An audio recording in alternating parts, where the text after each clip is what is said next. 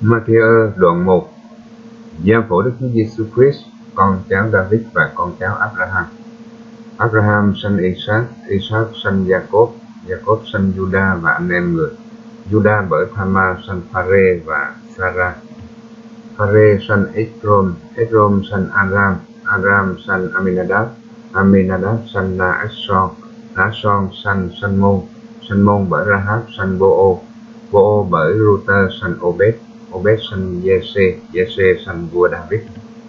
David bảo vợ của Uri sanh Salomon, Salomon sanh Roboam, Roboam sanh Abijah, Abijah sanh Asa, Asa sanh Josaphat, Josaphat sanh Joram, Joram sanh Hosea, Hosea sanh Jotam, Jotam sanh Acha, Acha sanh Ezechia, Ezechia sanh Manasseh, Manasseh sanh Amon, Amon sanh Josiah, Josiah là khi bị đài qua nước Babylon San Jechonia và anh em người.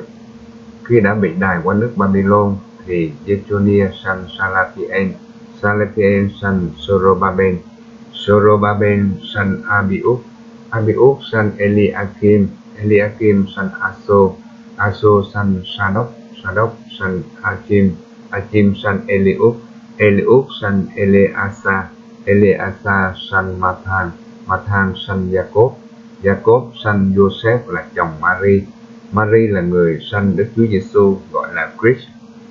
Như vậy, từ Abraham cho đến David hết thảy có 14 đời. Từ David cho đến khi bị đài qua nước Babylon cũng có 14 đời.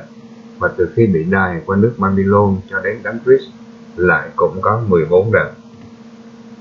Sáng cái ký đoạn 22 Bởi vì ngươi đã vâng theo lời dặn ta. Nên các dân, thế gian đều sẽ nhờ dòng dõi ngươi mà được phước.